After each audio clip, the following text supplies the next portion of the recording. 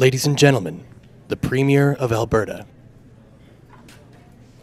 Ladies and gentlemen, members of the press, bloggers, a terrible tragedy has occurred today.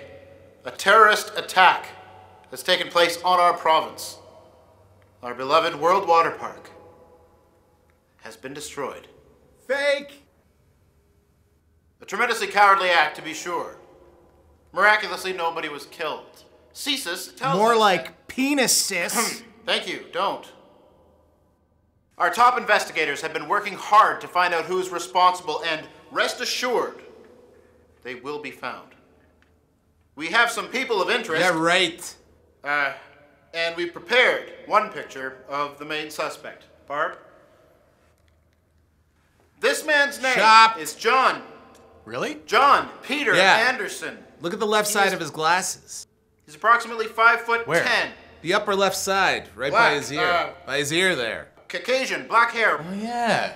Totally black shocked. It's too bad I Village wanted to tramp. believe it. Stop it! Shut up, you idiots! The man we're looking for is named John Peter Anderson. CSIS More also like feces, sis. No, not more like feces at all. He may also be going by the pseudonyms Jack Anderson, Peter Sanderson, Joe Durson, and Brent Spiderman. Fail. All right, I'm not kidding. I am not kidding. Go kill yourself. You little shits, this isn't fucking YouTube. You little shits, this isn't fucking YouTube.